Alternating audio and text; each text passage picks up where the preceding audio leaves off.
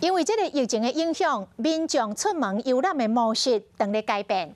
南道关溪头甲三那溪有背景的旅宿甲交通业者联手来合作，提供更加多元的选择，各会当来包车哦，要互民众到南投佚佗更加利便、更加安心。溪头含森林溪景色真水，游客真爱来遮佚佗。不过上惊的就是交通问题，在地旅社业者用六个月时间，含交通业者做为三合作。有八大饭店业者，大概呃含瓜的占有率已经超过百分之九十。哦，那这个。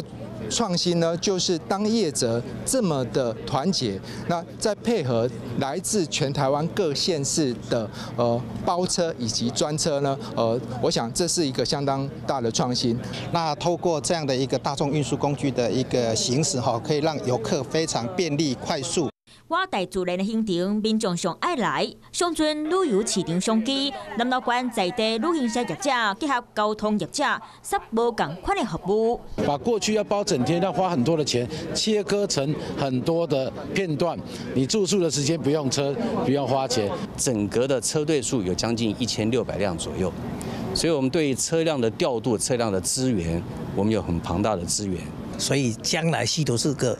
未来是一个明日之星啊！透过合作，希望和游客出国变更加便利。当地业者嘛利用在地食材推出森林料理，来扩大旅游商机。